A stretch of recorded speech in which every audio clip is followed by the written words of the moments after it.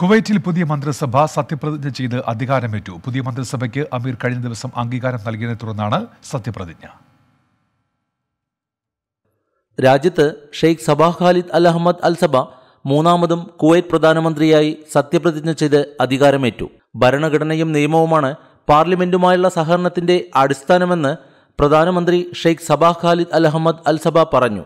പാർലമെന്റും സർക്കാരും ഒരേ ലക്ഷ്യത്തിനു വേണ്ടി പ്രവർത്തിക്കുന്നവരാണെന്നും സത്യപ്രതിജ്ഞ ചെയ്ത ശേഷം Amir Sheikh Nawaf Al Ahmad Al Jabir Al സബയെ അതിസംബോധന ചെയ്ത് സംസാരിക്കവേ പ്രധാനമന്ത്രി വ്യക്തമാക്കി. അതോടൊപ്പം മന്ത്രിസഭാ അംഗങ്ങളെ അംഗീകരിച്ചതിന് പ്രധാനമന്ത്രി അമീറിന് നന്ദി അറിയിക്കുകയും ചെയ്തു. കിരീടാവകാശി Sheikh Mishal Al Ahmad Al Jaber Al Sabah സത്യപ്രതിജ്ഞാ ചടങ്ങിൽ പങ്കെടുത്തു. Hamad Jabir Al Ali Al Sabah ഉപപ്രധാനമന്ത്രിയുടെയും പ്രതിരോധത്തിന്റെയും ചുമതല വഹിക്കും. അബ്ദുള്ള യൂസഫ് റഹ്മാൻ അൽ റൂമിക്ക് ഉപപ്രധാനമന്ത്രിയുടെയും നീതിന്യായത്തിന്റെയും ചുമതല കൂടി നൽകിയിട്ടുണ്ട് twenty four Kuwait